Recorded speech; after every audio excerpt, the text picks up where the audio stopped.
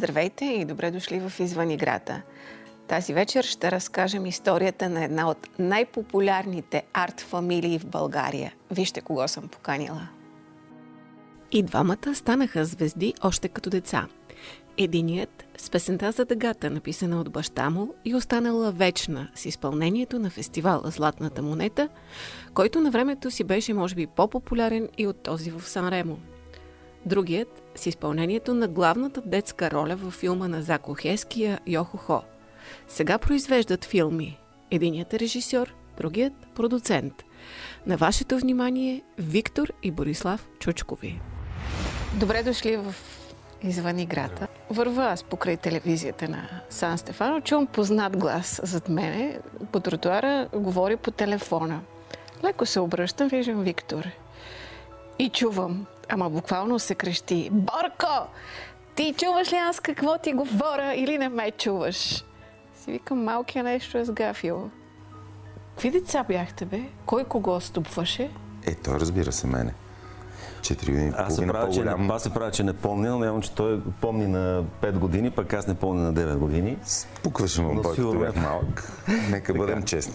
Това са детски игри, които децата се търкалят, дърпат, скубят. Чупат си главите. Чупат си главите, особено когато живеят в, нали, заедно и в една стая. Така че ние бяхме така, прекарахме до, може би, 17-18 годишнина в една стая на ни последните години едно легло, от което отдолу се издърваше още едно. Един е спеше отдолу, други отгоре. Много модерни, тия като излезе да, много. Да. да.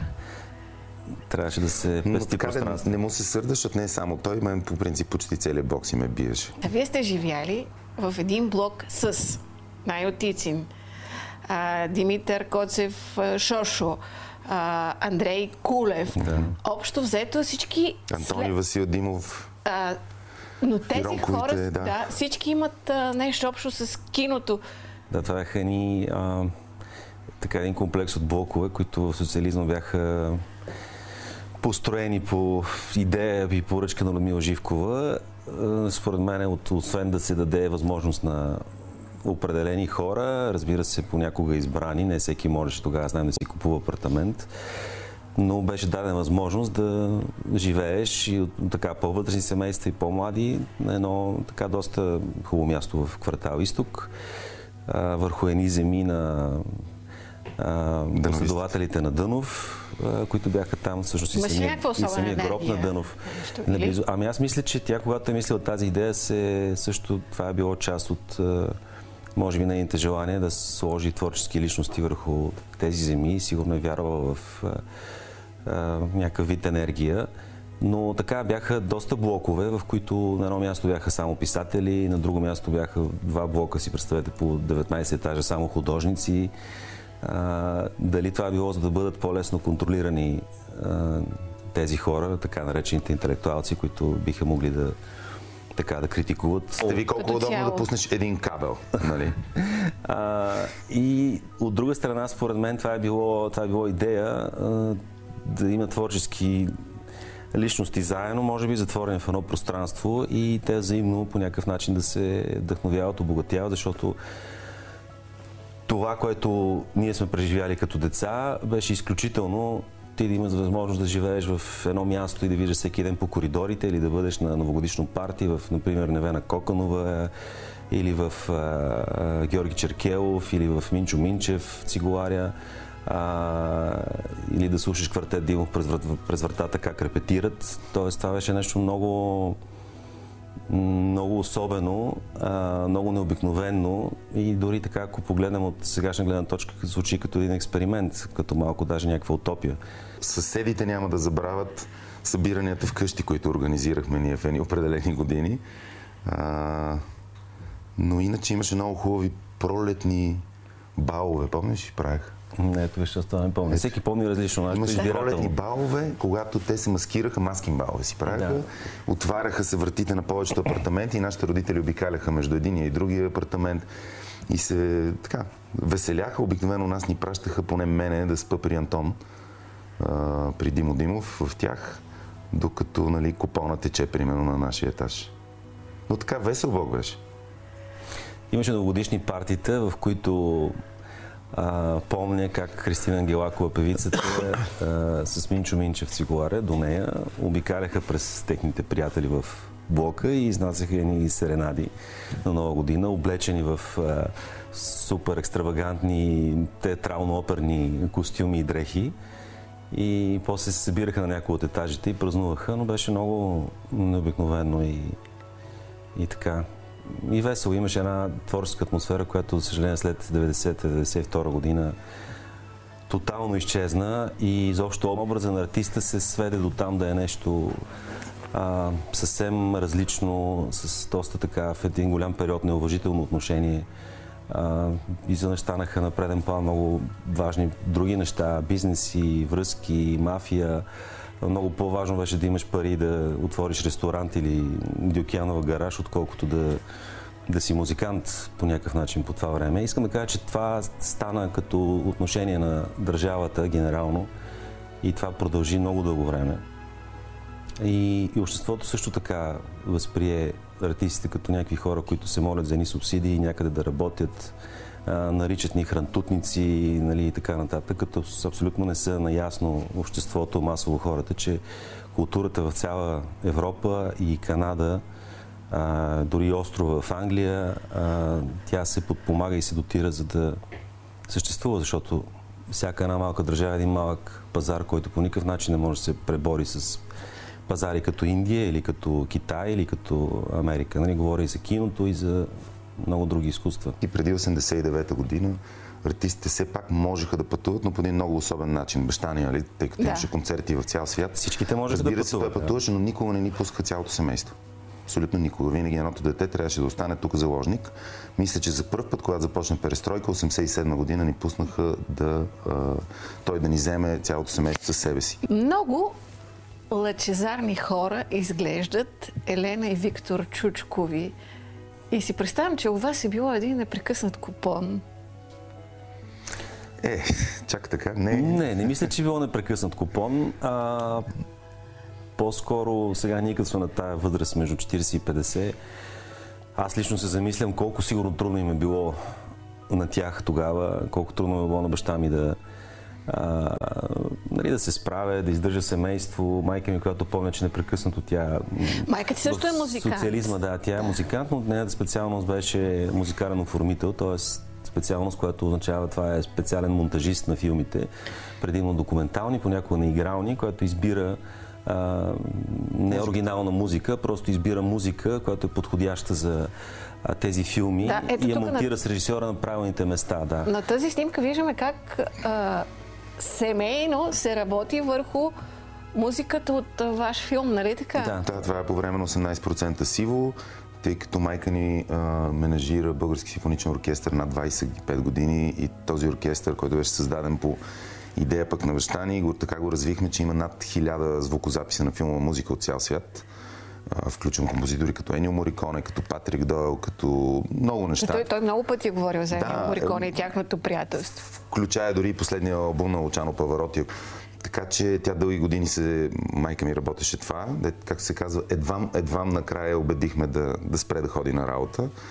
А, но когато става дума, разбира се, за музика на Виктор, беше там. Аз да се върна и за нея през наистина 70-80-те години, когато е работила тази много интересна работа, когато се правеха по около 30 игрални филма, знаем, на година. Какво говориш, то беше се правеха страшно. десетки документални филми. А, много често тя ме взимала с себе си на работа в, е, примерно, София Прес, там се правеха част от документалните филми. А, аз съм заспивал и той по едни такива Кошове с е, ленти, докато тя работи с легенди като Захари Жандов, като Христо Христов. А, Там ли Зако Хеския те видя, бе? Не, Не. Той ме... За Йоко не, Хо да те не. вземе. За Йоко Хо ме видя една а, Шени, която беше асистент режисьорка на Йоко Хо. И тя ме видя случайно на един детски рожден ден и беше попитала майка ми дали а, искам да се ява на кастинг, пробни снимки тогава се наричаха, за един детски филм. Той също се оказа, че не е детски и се оказа, че по снимка изпробваха около 300 деца, от които режисьора избрал определена група, които вече да прави проби на живо с камера, с актьори. така, аз само исках също да допълна за, за, за родителите ни, когато каза, нали, че било един непрестанно весело вкъщи. Всъщност, Ами така изглежда. истината е, че много работех. Страшно много работеха и майка ми, и тогава, и баща ми. А, толкова много имаше производство на кино, че наистина ходеха нощни смени.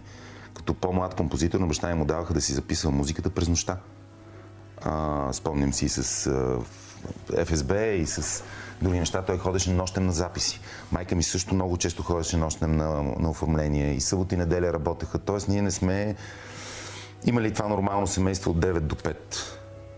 Не беше така. И наистина, сега се замисля, страшно много работех. Обаче нито един от вас двамата не стана музикант, въпреки твоя крехък опит, но за винаги. Ами да, моя опит е крехък и завинаги, въпреки че аз успях да завърша музикално училище, но осъзнах, че не съм добър музикант и че няма смисъл да продължавам в нещо, в което не се чувствам а, силен. А, но сега неговите деца и двамата учат пиано в музикалното, така че Борис надяваме се скоро да Борис и излезат Христо. нови музиканти. Да. Борис и Христо се казват твоите две момчета. Ама няма Виктор трети и Виктор внук. Ами не, аз даже си мислех да е единия да е Виктор и баща ми се развика и каза тук да не сме някакви маняци, егоцентрици на Виктор първи, втори, трети, не искам Виктор. И така приключихме темата с Виктор, защото за мен това е едно хубаво име, но наистина трима човека в една фамилия да се казват Виктор малко... Колко са големи Прекалено. вече Борис и Христо? Ами на 10 и 13. И се, да, занимават се с музика, дали ще станат музиканти или дали музиката просто ще им помогне да се развият в друга посока. Това ще покаже живота. А Елена и Евгений? Елена, Евгения Елена са на 11 носи името Елена на майка е кръстена ти. на майка ми, Евгения е кръстен на своя дядо по майчина линия. А, ми, прекрасни деца, да са живи и здрави, учат много, стараят се. А, нямам, както се казва, никакви опаквания. А, те са на 13 и на 11. Имате ли време с тях? Ами това е същия въпрос, като се замислиш а, хората, които се занимават с някакви изкуства до някъде са малко егоцентрици, малко може би прекалено гледат в себе си да се преборят, да успеят, да се случи нещо в, в техния живот и сигурно а, не обръщаме достатъчно внимание, както помня че винаги баща ни вкъщи е свирал, ходил по концерти, пътувал е. А, и, но не мога да кажа, нали, че няма нормални контакти, но такъв е, не знам, такава е и може би нашата, нашата професия. Разбира се, последните години в един човек, в момент чов- човек, когато така повече порасне, осъзнава, че трябва да обръща много повече внимание на, на личния си живот и на хората около себе си, защото това не е света не е само работата и не е само филмите и не е само музиката и не би трябвало да бъде така. И ти си отделя много повече време събота и неделя, поне наистина да обръщам така 100% внимание. При мен е малко по-сложно, тъй като Евгения и Елена живеят с майка си в Брюксел.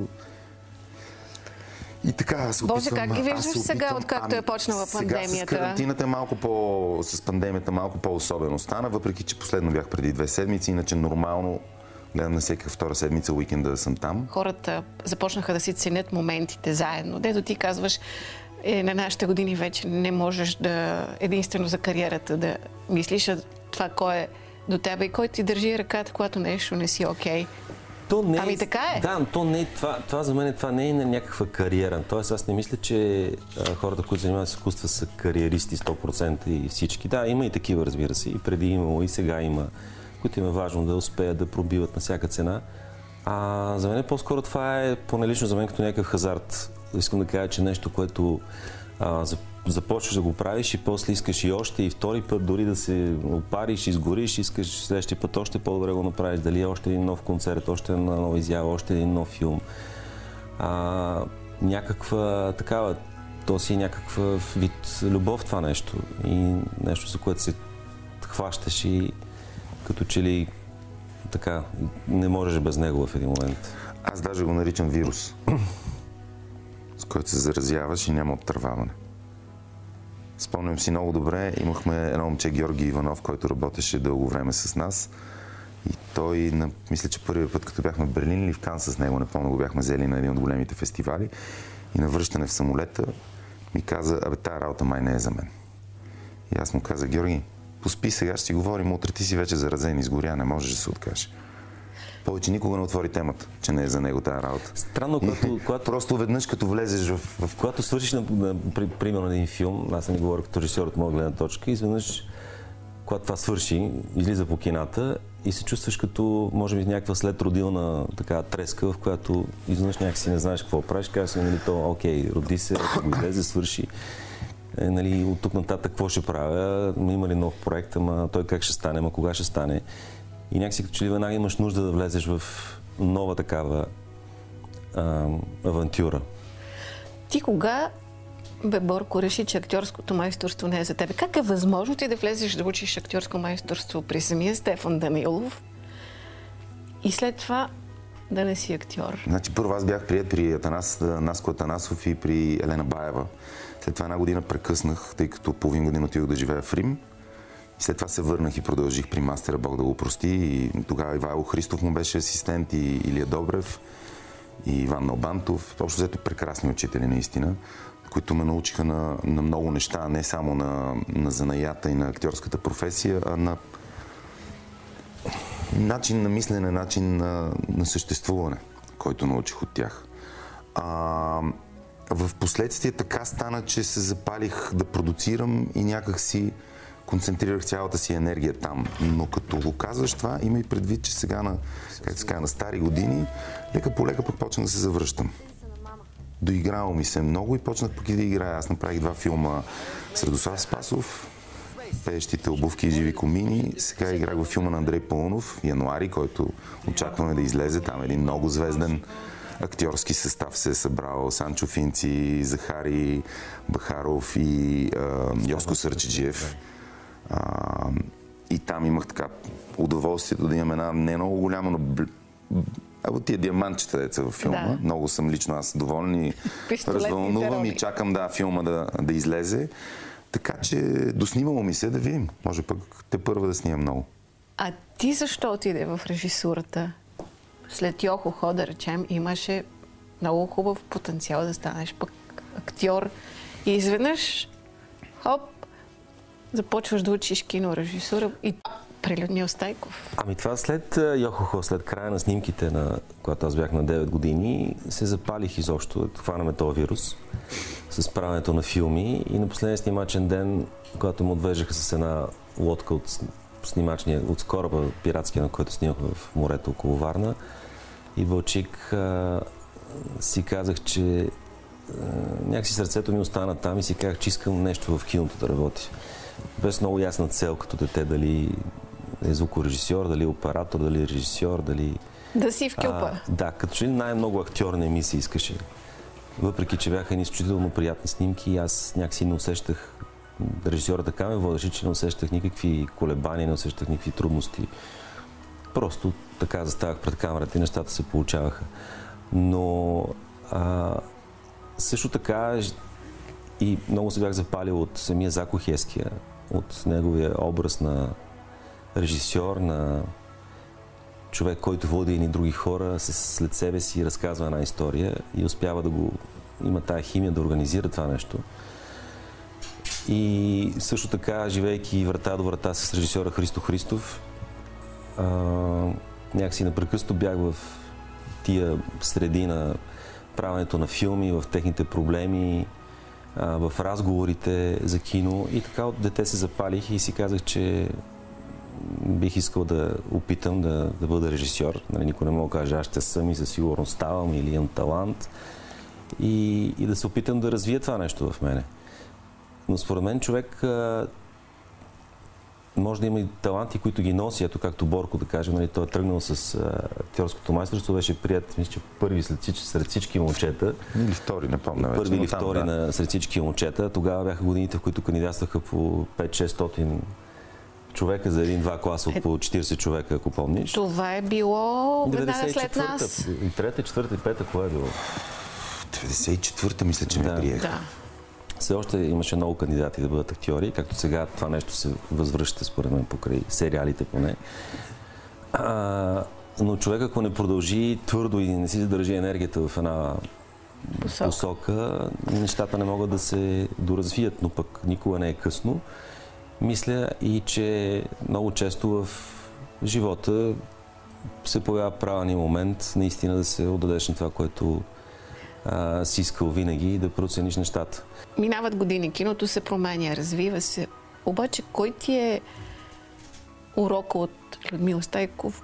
Някакси той ни даваше на нашите идеи, които предлагахме да правим за късометражни филми, за курсови работи.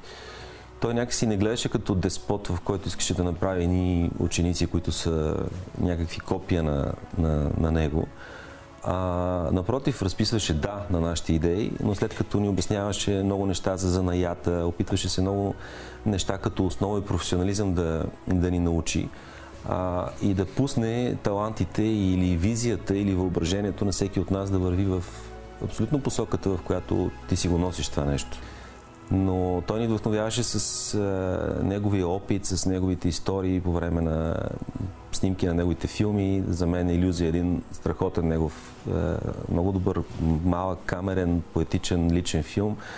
И всъщност той се хвърля и от другите крайности, като Хана Спарух, като Време разделно. Време разделно които пък са изключително тежки продукции и за режисьорите, и за самата продукция, и за продуцентите. нали, когато си кажеш, че човек трудно се наема с такава отговорност да направи това нещо и да го води до край. Също така ни учи да се концентрираме в едно нещо, дълго време да си задържим енергията, защото това са от най-важните неща, когато, особено когато правиш филм. Чарли Чаплин го е казал, че а, основно в режисьора трябва да има способността да се фокусира върху едно, дъл... върху едно и също нещо много дълго време, което продължава години и да не изгуби тая енергия на вдъхновение и вяра. Искам да ми кажеш, кое е по-важно, да разбираш от кино или от пари? Много хубав въпрос. Аз така си представям ролята на продуцента, без да съм била никога ами, те продуцент. Са някои типа продуценти, но така или иначе те, тези две неща са взаимно свързани. Защото ако ти не разбираш от кино, няма да имаш хубав проект в ръцете си. Ако нямаш хубав проект в ръцете си, никога няма да успеш да го финансираш. Аз винаги казвам, че един добър проект рано или късно си намира парите. Те ще го намерят. Разбира се, отново е въпрос на, на упоритост. Има проекти, които по-бързо успяват да се случат. Има такива проекти, които много години и търпение трябва да имаме, докато станат реалност, докато се задвижат или особено, както се казва, докато се намерят първите пари. Първите пари са най-трудните. Когато влезат от някъде, от един фонд или от една телевизия, влезе една част от парите, от една държава, вече почва да става малко по-лесно. Сега, нали, няма да влизам в детайли, че а, ние предимно работим в условия на европейски копродукции. А, нали, за разлика от сериалите, където ти се договаряш с една телевизия и произвеждаш един сериал за тях, в киното ние... Да, всичките ви филми с международно да, участие. ние ги финансираме да от много места. Ми, на Виктор последния филм 17% сиво. Официално сме 5 или 6 държави. 6. България, Македония, Сърбия, Германия, Белгия и отделно Унгария, които не успяха да намерят пари, но помогнаха по друг начин, са ко-продуценти. И, и така, когато това нещо трябва да го организираш и толкова много хора да ги убедиш да инвестират в този филм, защото не само пари, техните усилия и време и, и много надежди. чужди актьори взимате. А, Ми е направо в, в този случай, да. А, в никакъв случай, не, пак казвам, да се върнем на въпроса, не могат двете неща да върват отделно. Ако не разбирам от кино, няма как да, да намеря парите. А иначе, ако ме питаш дали чисто да разбирам от пари, имаш пред под сметки, да, разбира се, аз трябва да разбирам и трябва много бързо да мога да размествам тези пари. Защото, както често говорим и с режисьорите, турбата с пари е една. И когато ти днеска искаш нещо от мен, което не е било предвидено, но стояваш на него, аз трябва да се откажа от нещо след 6 месеца, което ще ми кажеш пак, че го искаш. Защото турбата с пари е една и аз трябва да я движа и да я разпределям, което е така интересно занимание. Свързано с много риска, разбира се. По принцип, основната разлика, може би, между всеки друг бизнес или производство, нека го наречем, тъй като филма се произвежда, е, че ние винаги правим един прототип. Нямаш Ти всеки път създаваш прототипа. Всеки един филм е, този, е прототип. Ти не знаеш наистина какви подводни камъни те чакат, наистина колко пари ще излезе, наистина къде затъгъла нещо ще те изненада по време на, на производството. Нали, ако, с други думи, ако го обясна, ако ти произвеждаш тази саксия, ти правиш един прототип, калкулирал си в нея колко метал има, знаеш колко струва, отиваш при клиентите Колко и е? казваш, Колко заповядайте, ето го, това струва толкова стотинки, защото ти знаеш, че струва толкова. И, и можеш да го покажеш как изглежда. А всъщност аз отивам при едни хора, им разказвам за един филм, дето обаче никой не знае как изглежда. Тоест, убеждавам ги, че ще имам тази саксия, но един си представя тази кашпа, друг си представя до тебе това стъкленото нещо. И е много трудно всъщност да убедиш някой и той да ти влезе в главата и после да каже, а, да, да, това беше, това очаквах, тази саксия. Имате ли си някакъв ритуал, когато започне първия снимачен ден? По принцип е шампанското, което задължително трябва да се отвори след първия кадър и най-важното е да не се загуби тапата. Тапата се вързва на камерата отдолу, това е някакво суеверие, което обаче веднъж сме търсили тапа като ненормални. Мисля, че беше по времето И на тя си стои до края, така ли? Трябва да стои до края, ако се загуби лоша поличба. Аха. Защо хората трябва да гледат вашия последен филм? 18% сиво, ти си режисьор, ти си а, продуцент, една много хубава, а, такава актуална, общо човешка история. С едно изречение за мен, е, как да намериш себе си. Ами аз мисля, че трябва да го гледат, защото а, първо мисля, че всеки, не знам ли с една дума мога да го кажа, че а, с хората, които са гледали филми, съм говорил, там има няколко теми. Нали? Когато един филм е а, съвсем за деца малки, той би трябвало да има една тема, но в, в филмите за големи хора има няколко пласта, няколко теми. И специално в този филм съм усетил как различни хора хващат една от тези нишки и за тях това става най-важното, което а, ги развълнува. Разбира се, понякога им харесва, понякога им харесва. А, но мисля, че много хора могат да се видят в тези истории. Са ми писали такива хора и са ми казали, аз съм изживял също това нещо. Аз бях в чужбина, аз се разделих с жена си, си разбих връзката и после осъзнах какво се е случило. А, нали, но това са чисто сюжетни неща, но много хора са ми казвали, че реално се, се виждат в, в тази история, а тези, които не се видят, просто ще за мен ще видят една, една красиво разказана история. Аз мисля, че това е филм, който си заслужава да, да се гледа, тъй като той остава нещо в теб, накара, кара те да се замислиш. Излизаш след, след като излезеш от кино Салмона, имаш над какво да разсъждаваш. Така че мисля, че хората все повече имат нужда от това, особено когато отидат на кино, един филм да ги развълнува. И надявам се, че с този филм сме успели. Разбира се, не всеки ще го хареса, но това е нормално. Това беше всичко в Извън играта за тази седмица. Имайте едни хубави 7 дни. Ще се видим следващата събота.